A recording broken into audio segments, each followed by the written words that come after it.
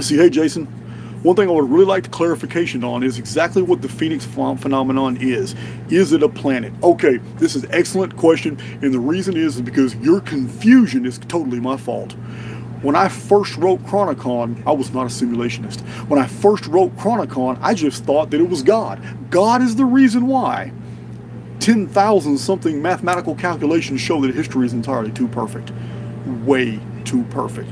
Some of my future videos are going to shock you with the mathematical parallels that cannot be cannot be refuted. I'm going to show the charts. I'm going to show where a whole series of events are just like algorithms throughout history. It's shocking. I have not released a single video like this yet.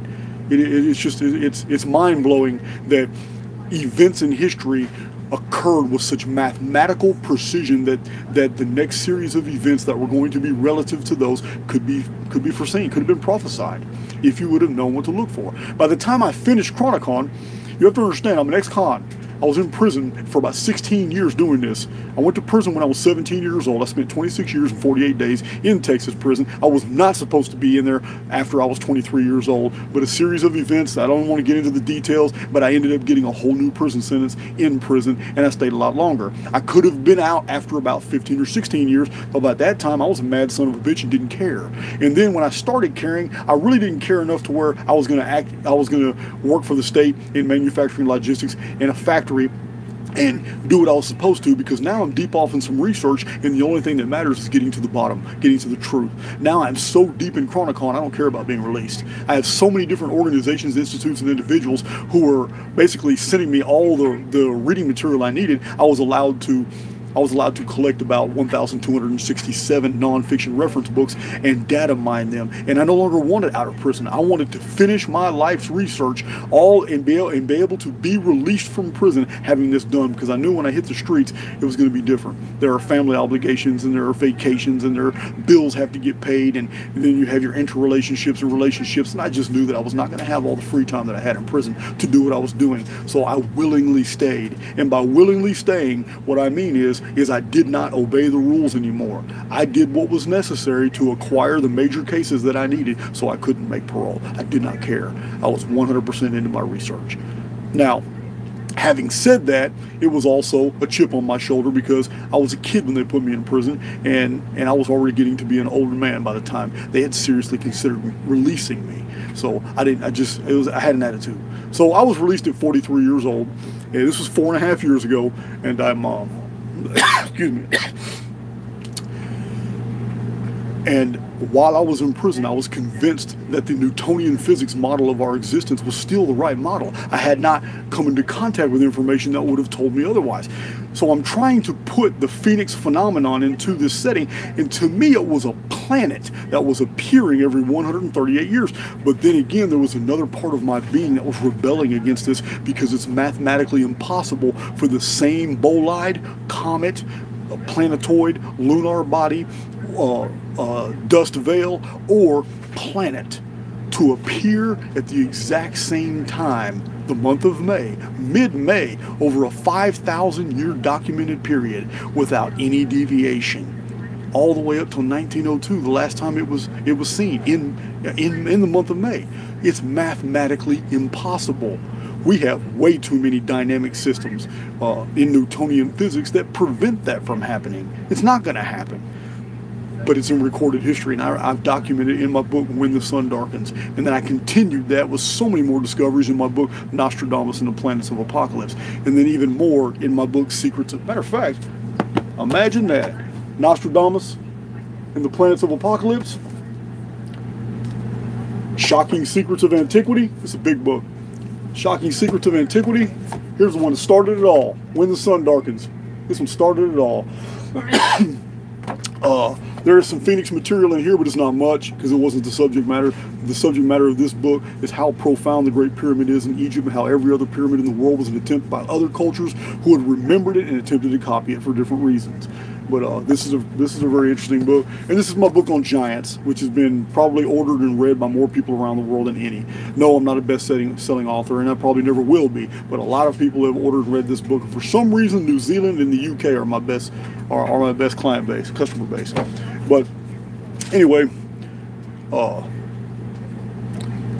No, I'm a simulationist now. Now I see in simulation theory that we are involved in a, in a simulated holography that mimics a true and real universe. I believe that humans, at some distant point, either in the future or in the past, knew of a series of problems that they were going to have to deal with. And the best way to see was to create computer simulated narratives and let them go and just let see see where they go. But introduce the cataclysm protocols by which they knew they were dealing with or had to deal with and see what was the best methods for survival. Because the Phoenix phenomenon is harrowing. What it has done in ancient times, it's shocking.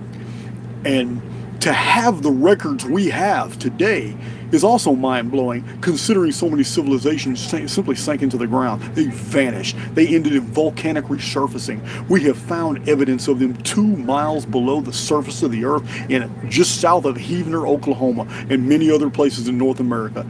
An entire world totally buried by other parts of the world. We don't know if that mud's coming from the sky or if it's coming somewhere else, but whole entire stone infrastructures have been found deep below the United States of America, way underneath the Rocky Mountains and the Appalachian Mountains. And uh, many many of my posts and books and articles and some of these videos even even explain uh, these findings when they were found and why the Smithsonian Institute has not only covered them up but actually filled whole entire old derelict ships with uh, artifacts and then burned them at sea and sank them. So they've been sued for that, as a matter of fact. So uh, the Phoenix phenomenon, while its effect is harrowing, I don't believe at all that it was the design of a wicked being. Yes, I do believe in a demiurge. I do believe that there is a demiurge that controls this world the predator versus prey ecosphere is not natural, that animals have to not only rend each other to death and, and, and, and devour each other is so antithetical to any type of maturity of the human spirit uh, that I just can't I can't divorce myself from the idea that I'm living in a completely wicked, evil world that masks itself in just natural ecology when it's violent. Everything about this world is extremely violent. As a matter of fact, most people's internal impulses when they come across situations that are opposite of what they either expect or want to happen is a very violent reaction.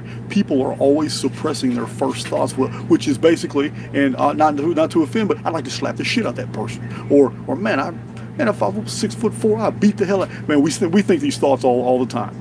And I'm not I'm not the only one guilty of it. So women go to church every single Sunday. They have problems with somebody. They think they tantamount to the same thing. This is something that we mask in culture, and we have innate tendencies to be very violent. And those of us that are feared the most are the ones who, for some reason, our our our inner reserves, our, our reason, our logic wasn't enough to stop us from doing what we did, and we paid the price. Some of some people haven't paid the price. Hell, we have we have we have uh, homicidal maniacs at the top levels of government who get away with it all the time.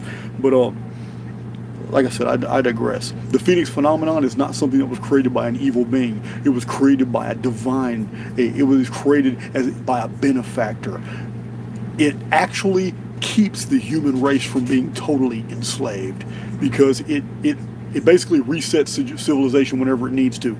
Not not every 138 years, but it does appear every 138 years in the month of May. And there are governors that are set up, set they're, they're set up all over the stellosphere, watching us and recording events and making sure that we haven't matured to a certain point, like the Tower of Babel. We became so so vastly intelligent that we became a threat, and then uh, something had to happen. We had to get set down a notch. We had to be divided. Only in a computer simulation can can a single people. According to the Sumerian records, the entire world, all cultures and all races spoke the exact same tongue. It was a mother tongue.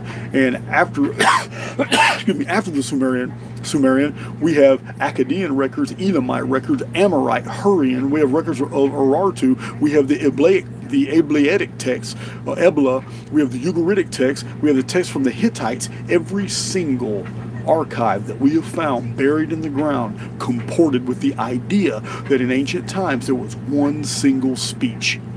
But what the hell happened?